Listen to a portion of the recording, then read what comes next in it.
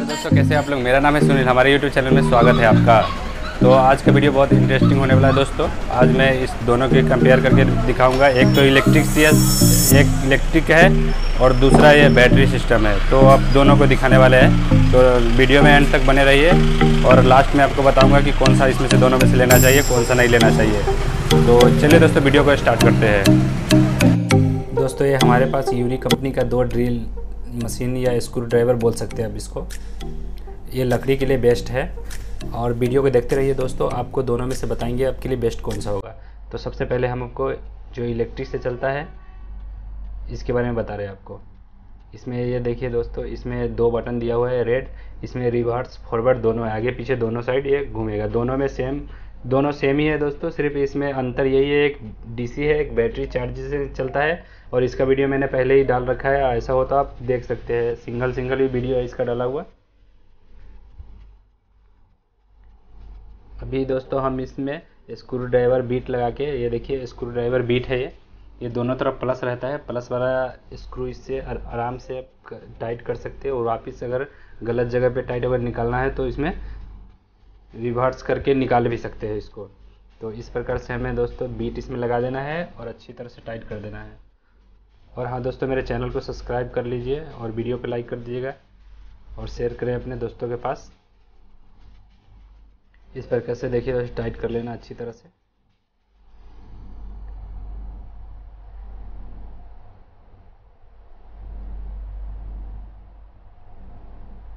और हम इस, इसमें दोनों को आपको कंपेयर करके दिखाएँगे कौन सा कैसा काम करता है।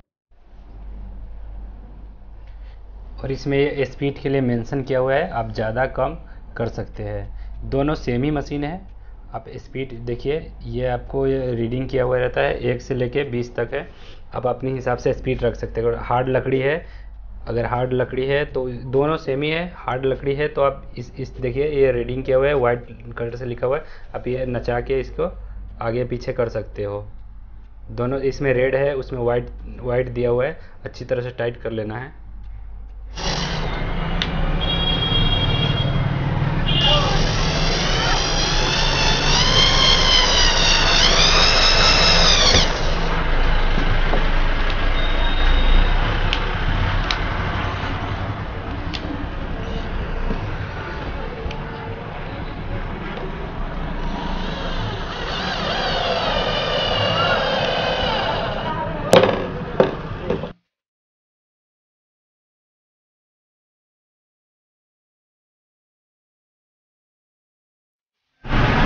तो दोस्तों, इसमें हम दोनों ये बताने वाले आपको दोनों में से कौन सा लेना चाहिए? दोनों अपने हिसाब से सही है।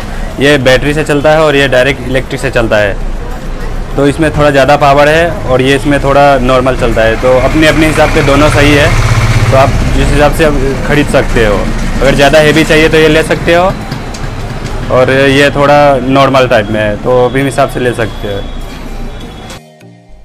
जय हिंद, वंदे मातरम।